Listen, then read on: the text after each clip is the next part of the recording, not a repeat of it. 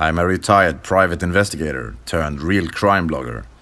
I've been receiving anonymous manuscripts in the mail detailing heinous acts of appalling psychopathy. For reasons concerning my work and this situation, I don't want to give you my true identity. You can refer to me as Mr. S. I started out in my early years as a detective, not to toot my own horn, but I was highly effective at my job and before too long, I started taking on much higher paying jobs as a freelance private investigator. Over the years, I have solved several high profile cold murder cases. Unfortunately, in a work related attack, I was seriously injured and retired from my job as a private investigator five years ago. Since then, I've started a well known real crime blog and podcast. Recently, I started to receive anonymous handwritten manuscripts in the mail detailing heinous acts of dark psychopathy. No return address. On the outside of the first envelope, there was the following note As my glorious life nears its end, my only regret is that nobody knows my greatest works and accomplishments. Below is the first manuscript I received this manuscript was titled High School. Be warned, I believe that what you are about to read is the journal of a psychopath. High School. It was my third week at my new high school. I'm used to being the new guy, so it doesn't bother me much. I'm an introvert anyway. I grew up in the foster care system and had never stayed in one place for too long. I wasn't known as a problem child, I just never bonded with any of my other foster parents. They could tell, and my lack of attachment always bothered them. They could send me off and hope that their next foster child would give them happiness they were looking for. The living conditions were usually substandard anyway.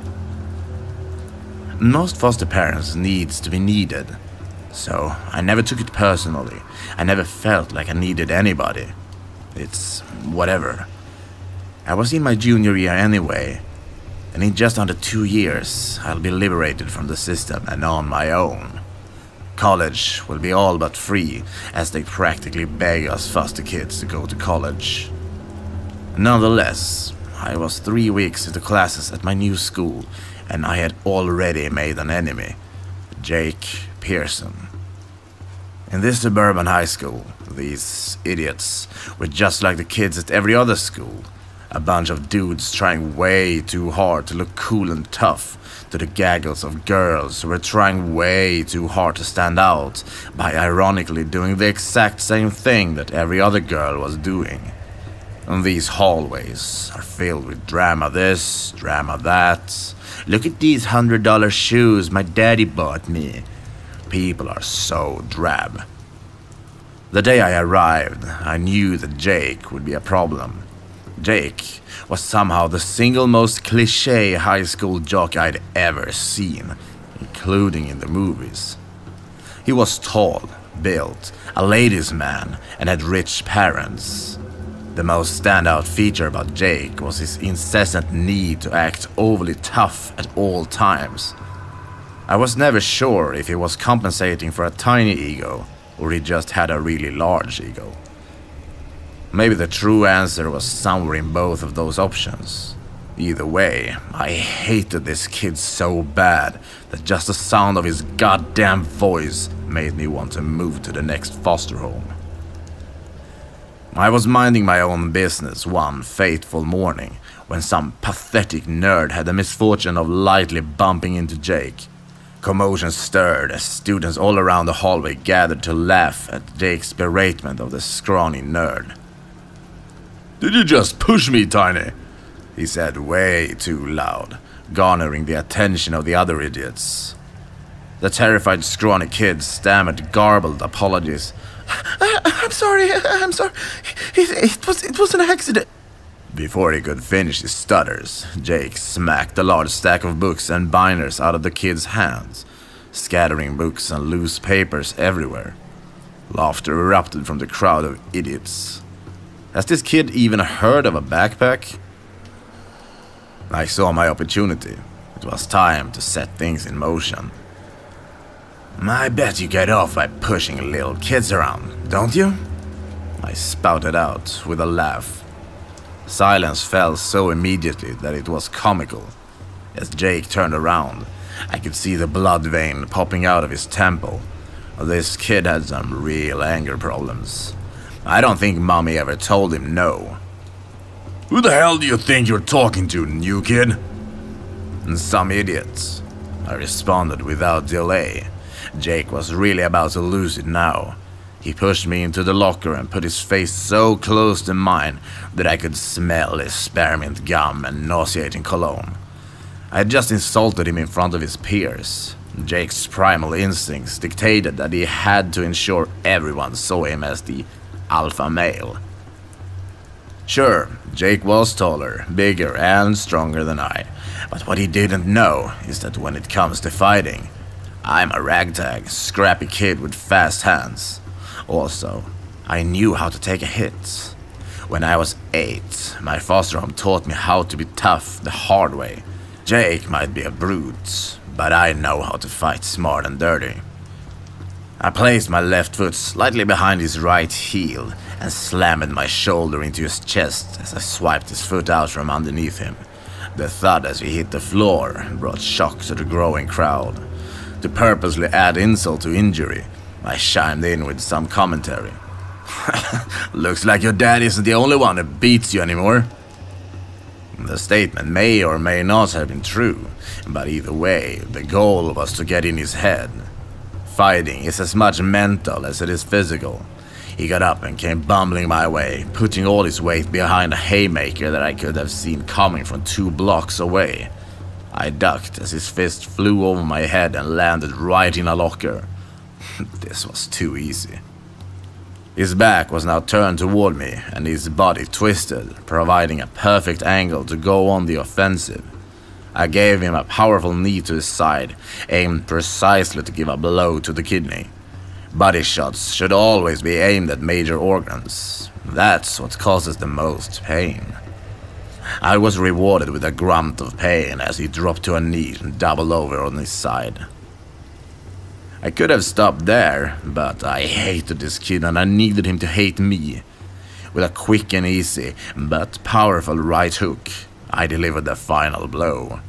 His nose made a crunch under my fist and I loved it.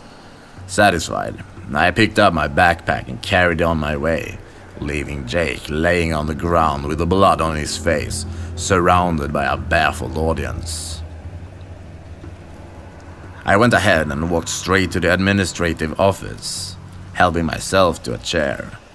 The lady behind the desk had a nose that pointed upwards, displaying her nostrils to anyone and everyone.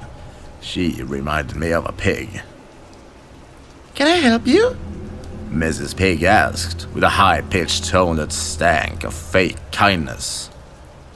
Ah, the principal is going to want to see me soon. I told her, with my legs crossed and my hands behind my head. Oh, do you have an appointment? She asked. I don't understand why this lady feels the need to speak with such high pitch. It reminded me of nails on a chalkboard. No, I stumbled across a bullying incident, and long story short, I broke someone's nose. The amusing look on her face was somewhere between confused and shocked. Uh, I'll be right back, Mrs. Pig said slowly as she got out of her chair. She disappeared into the back hallway and came out a couple of minutes later being trailed by a tall man wearing a worn grey suit that was almost as old-fashioned as his ridiculous bushy grey mustache. In remarkably good timing, the glorified hall monitor, who was officially called hallway security, came walking in holding the arm of Jake. To my pleasure, Jake was gingerly holding a large wad of blood-soaked paper towels over his nose. There were several drops on his beloved letterman's jacket. I hope it stains. Behind Jake and Mr. Hallway Monitor was the stuttering little kid who had nearly become Jake's chew toy that morning. I almost forgot about him.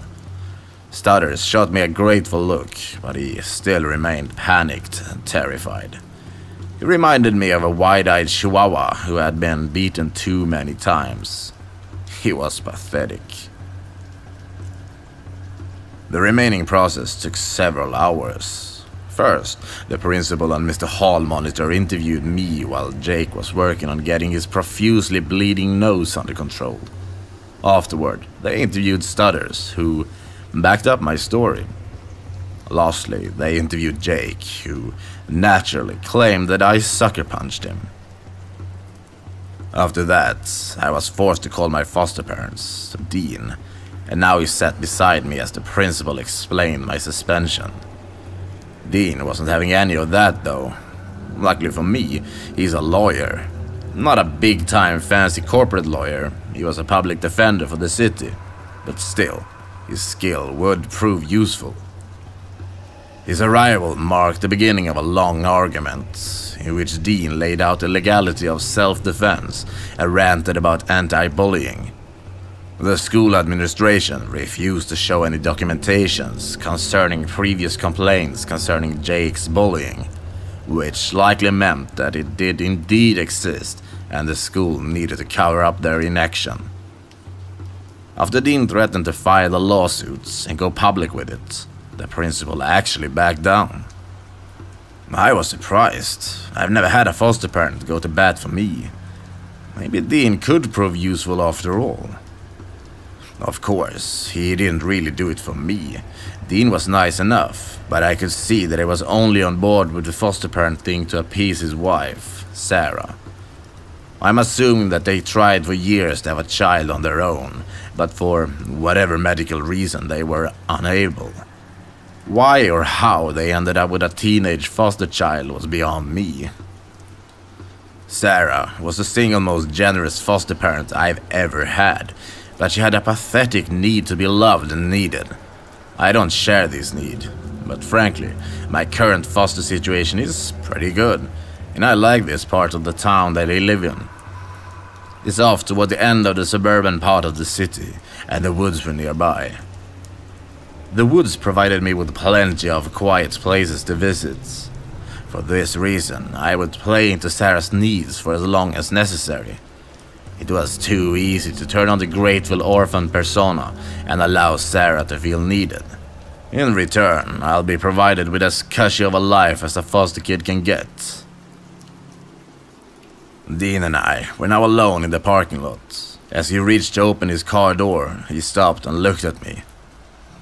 Now, listen, Rich. Oh, God. Here comes the emotional talk about how he understands that I'm going through a tough time, yada yada.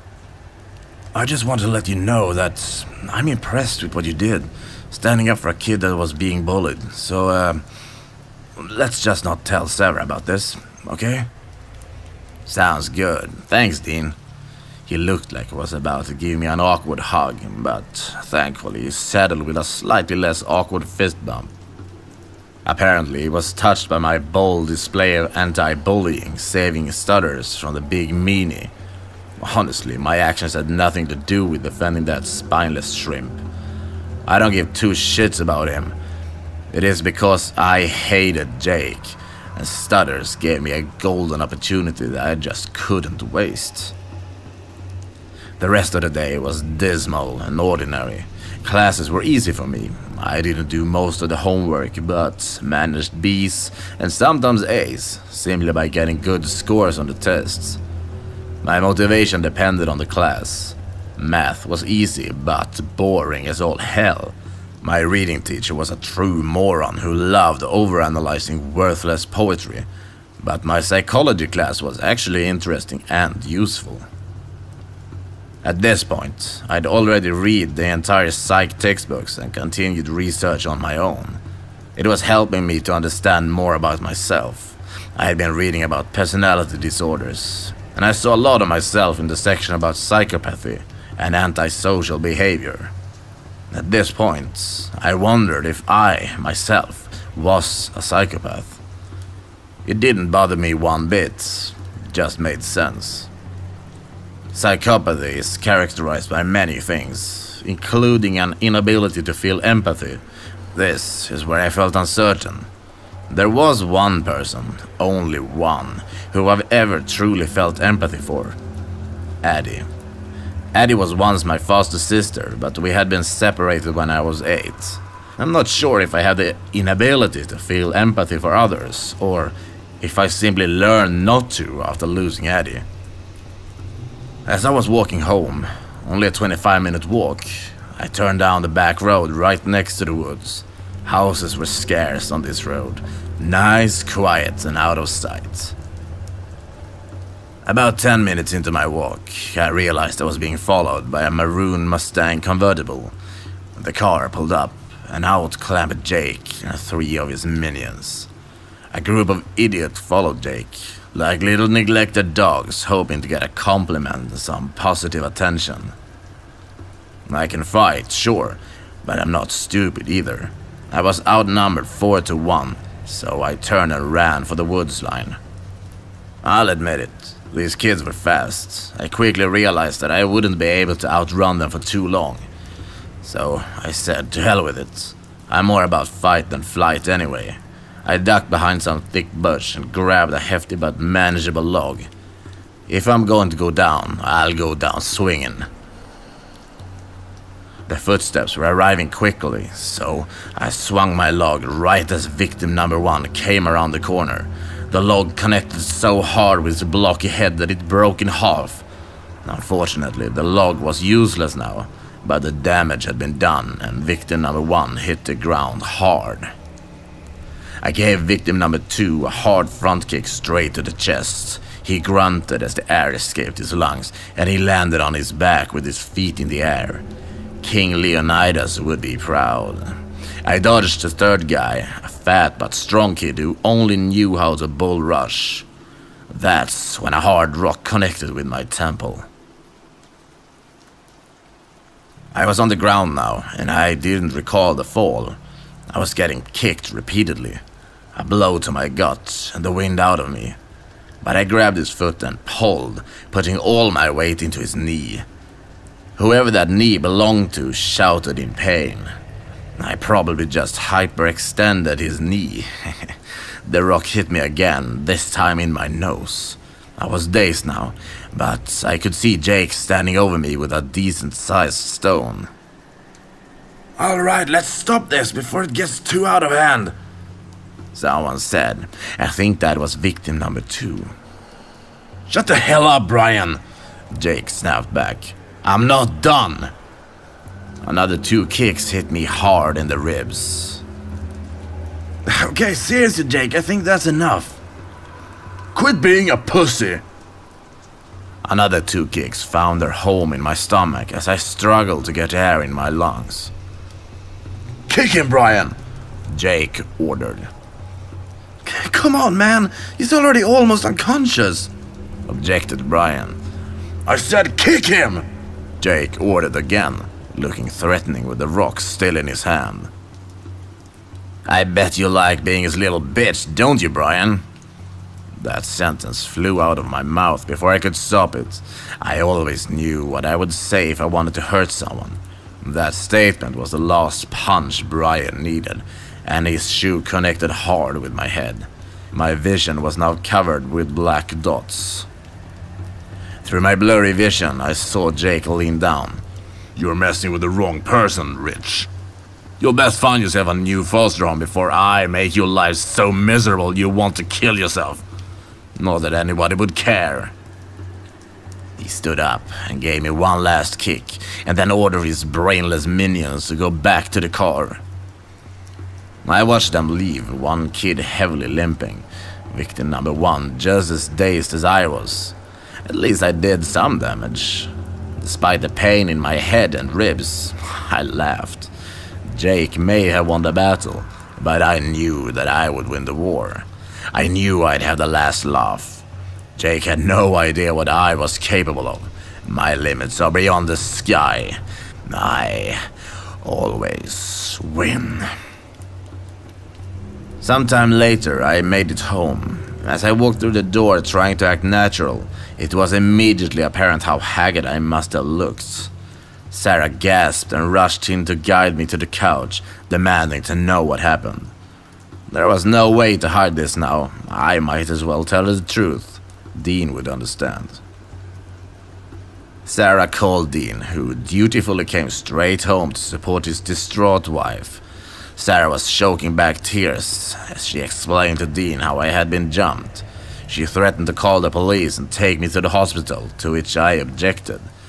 I did not need the police to get involved in my war with Jake. If the system finds out about this, they might make me move to another home. I don't want to move again. I pled to Sarah, playing into her emotional state. I think it's right, Sarah. Dean chimed in. Those boys can feel like they're even now, so there's no need to take any unnecessary risks. You know how the system is. Dean had come in a clutch again. This guy was proving himself more useful every moment. Sarah nodded in reluctant agreement. It was just too easy to get her to change her mind. But you're not going to school tomorrow, she demanded. You're going to stay home so I can take care of you and make sure you're okay.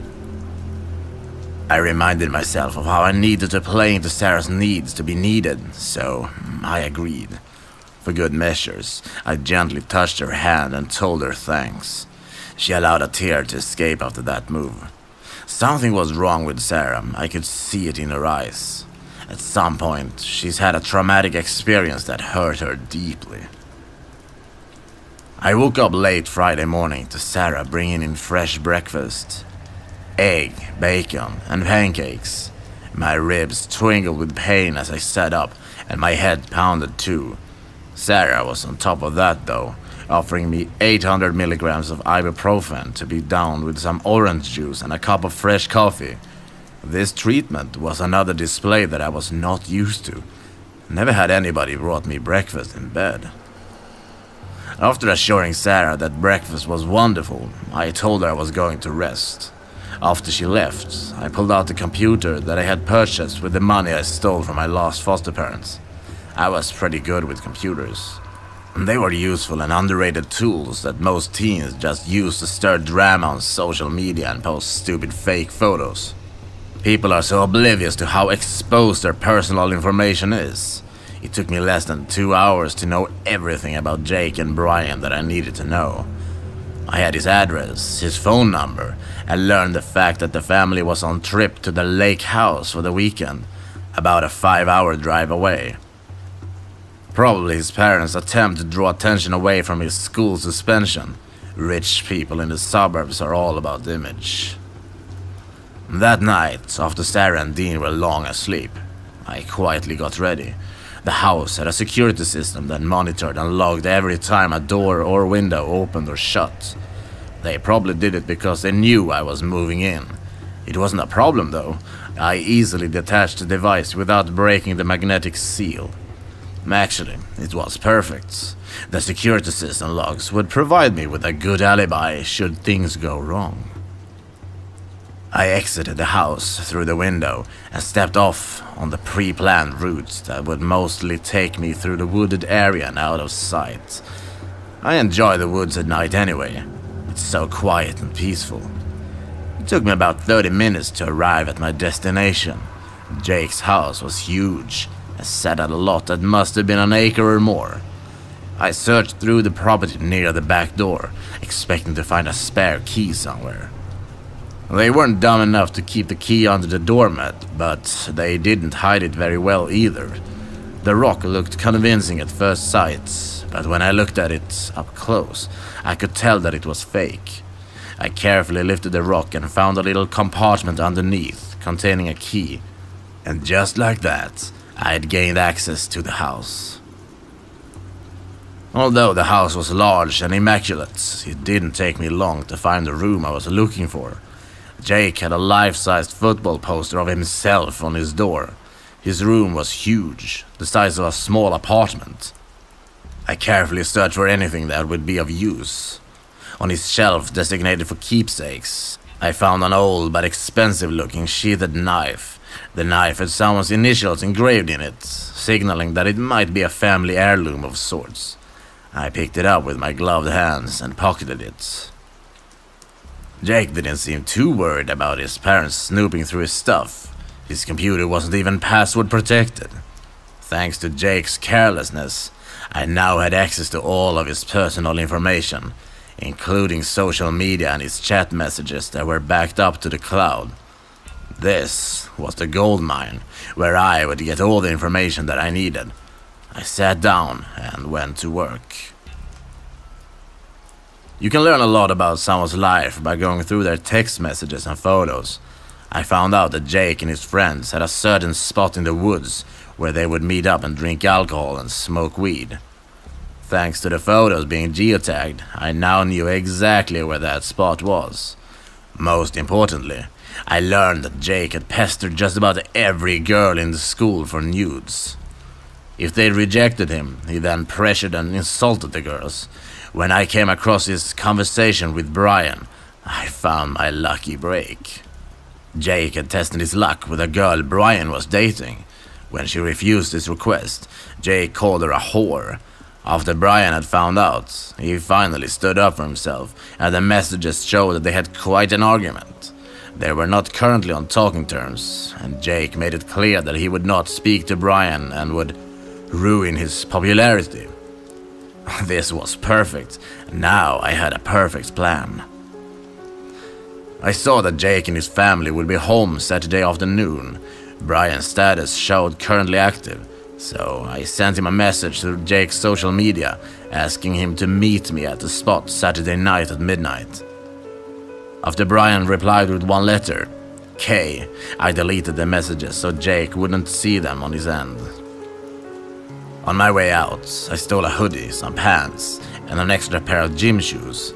I made sure to grab stuff from the back of the shelves to ensure their absence would not be noticed. I took one last look around to feel secure that I had left no noticeable trace. After locking the door and carefully putting the key back where I had found it, I went back home the same way I came, undetected. Saturday and Sunday, I continued to allow Sarah to look after me. I made her feel good, and I needed her to think that I needed her so I could continue living here. Finally, Sunday night arrived. I put the clothes that I stole from Jake and headed on my way. I waited in the shadows for Brian to arrive, and about 12.05 am, I heard the footsteps approaching. What do you want, Jake? Brian stated as he entered a small clearing. We have school tomorrow. Before he could finish, I hit him hard in the face with a rock, Jake's signature move. Brian fell to the ground, putting his hand on his face, as if that would somehow dull the pain. I didn't care. I kicked him in his head and his gut over and over. I watched with pleasure as he rolled around in agony, betrayed and incapacitated. Ah, what the hell, Jake? Oh, I am not Jake, I told him coldly. Brian squinted up at the sound of my voice, choked. He stammered a few disconnected words, trying to catch his breath through the pain. I knelt beside him. What? What do you want? Brian finally managed to muster between heavy breathing. Revenge. Looking Brian straight in the eye, I plunged Jake's knife straight into Brian's torso, stabbing right into the liver. I was rewarded with an agonizing groan from Brian. And to get rid of Jake. Another stab, this time off to the side, making sure I got his kidney. It's really not about you. Another stab and another moan. You're just on the wrong side of this war, and a convenient means to an end. Drawing in the delectable thrill of the moment, I thrust the knife deeper and listened to Brian's agonizing moans and shortened breathing. I stared into his eyes so I could see the look on his face as he realized he was about to die. And you really, truly shouldn't have kicked me.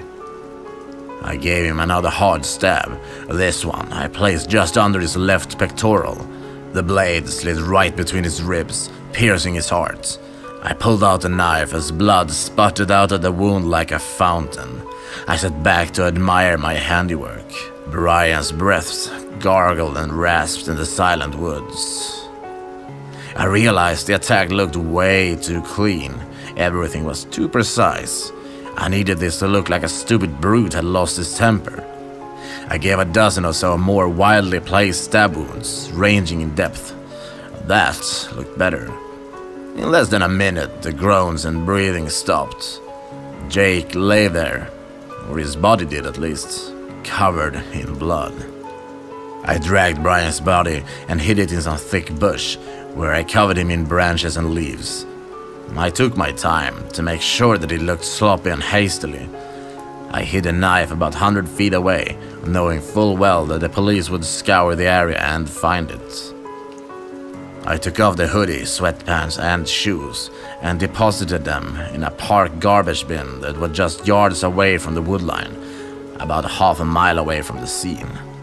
I had worn long layers underneath Jake's clothes and made care to never touch his clothes with my skin. I even wore a swimming cap to make sure my hair didn't get anywhere. The only evidence left that could lead me to the crime was the pair of latex gloves that I had worn to avoid getting fingerprints on the knife or blood under my fingernails. I made it back home with the same stealth I had used the previous nights. I quietly went into the bathroom where I soaked the latex gloves in bleach, scrubbing until they were spotless. After flushing the toilet to make sure Dean and Sarah would believe I was just taking a bathroom break, I used a little more bleach to vigorously wash my hands, and then topped off the bottle with some water so it wouldn't seem that my hands had been used. Finally, it was bedtime and I was exhausted. Murder is hard work. It seemed like only a couple of minutes later when my alarm went off. I hurried to the bathroom and took one more hard look to make sure the gloves and cleaning supplies were in their proper places. I then took a scorching hot shower, scrubbing every part of my body with vigor just in case. I then relaxed and used the rest of the time to reflect on the kill. Sarah insisted on taking me to school, seeing as I had been jumped last week. In my reflection, I found it interesting that I felt enjoyment out of the kill this time. I didn't recall the same satisfaction from my first kill. Maybe that's because this was the day I lost Daddy. I was 8 years old and finally understood what my alcoholic foster father was doing when he was getting into my sister's room and locking the door. Eddie was only 6. One night, when he was drunk, I put his revolver in his mouth and pulled the trigger. The police ruled it as a suicide. I hadn't seen Addie since, because we were sent to new homes that day. She was the one and only person I ever remembered feeling love for. School started the same, business as usual. And by the second period, the Gossip News Network was buzzing with the news that Brian's parents had reported him missing. By lunch, it was common knowledge. The best part happened just as school was getting out. I could see and hear the commotion from down the main hall. I walked over, peering over the crowd of idiots, all trying to get a good video of their flip phones. Three polices were forcing out a handcuffed and panicked Jake. He protested and resisted, but the police overpowered him and forced him into the car. By 6 o'clock, local news. It was a headliner story. Breaking news. Jacob Pearson, a local high school athlete, charged with the murder of a classmate, Brian Jones. I had a hard time holding back my satisfactory smile, but Dean and Sarah were in the room. I already had Sarah wrapped around my finger, but for good measures, I told her that Jake was the kid that attacked me. I put on my best scared orphan face during the newscast. That could have been me that got killed. I told her, forcing myself to sound scared. Her heart melted and I received instant sympathy as she pulled me into a tearful hug. Dean, being a public defender, was in the know. He, also believing I was scared, offered me some comfort. It'll be tough to defend this one, he assured me. Jake will be going away for a long time. I mean, the prosecutors have everything. The body, the weapon, fingerprints, even motive. It's like someone handed the AG this case on a silver platter. And indeed I had. It was the next day that Sarah and Dean sat me down and told me that they wanted to push forward with adopting me. I had gained their trust, and more importantly, their sympathy. I'd now be able to live in this cushy home with pushover parents until college. Even then, they'd probably send me money and give me a place to stay in the summer. They were good natured idiots, but useful idiots. What a success my first month in my new home had been. I locked in my preferred living situation and got rid of the only problem with my new neighborhood, Jake. The best part is, Jake hung himself in jail before the trial had even started. The police called it good, certain that Jake was their man, and the case was closed. I still laugh when I think back to when Jake told me that he'd make me want to kill myself. Ha ha ha. Like I said, I always win. That's where the first manuscript ended. After reading this manuscript, I was unsure as to the validity of the story. I thought that someone may be trying to pull an elaborate hoax on me, maybe to score a split light on my website, or perhaps, more sinisterly, it was an attempt to delegitimize my work and tarnish my credentials. Nonetheless, I was intrigued enough to dust off my private investigator hat and do some research. What I found that this story is, at a minimum, based on real events. I found a news article about Jacob Pearson, the promising high school athlete that threw his life away by murdering a fellow student. The question I now face is Is this the true story from a psychopath named Rich, or a simple fabrication based on real events? What do you think? Respectfully, Mr. S.